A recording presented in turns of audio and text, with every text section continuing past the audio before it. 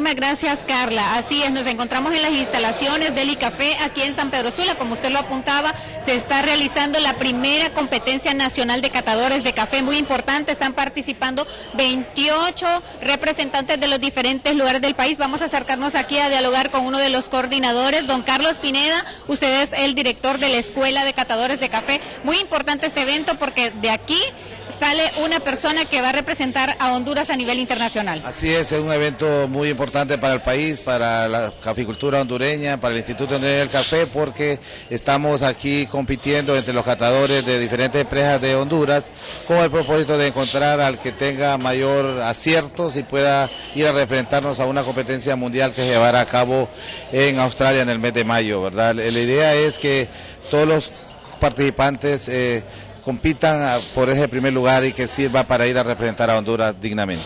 ¿Cómo se les está evaluando a ellos? Porque sabemos que son personas que ya tienen experiencia en esto. Sí, este es un sistema de pruebas triangulares donde se colocan tres tazas, una de las cuales es diferente y el objetivo de, que ellos hagan es que encuentren la taza diferente. Esa es la, esa es la, la actividad principal. El que encuentre más tazas diferentes son los que eh, clasifican, es una ronda clasificatoria, ahorita estamos en la eh, primera etapa, después van a haber semifinales y finales el día de mañana y el jueves para lograr también que estos catadores que clasifican muestren consistencia y, siempre se obtengan los mejores resultados para que así puedan ir a representarnos dignamente a las competencias internacionales en el resto del año. Esto le da un valor agregado a la calidad del café hondureño, porque ya es un evento de gran importancia donde van personal calificado fuera del país. Así es, definitivamente nos, permite estar siempre a la vanguardia de, la, de, la, de las... Eh,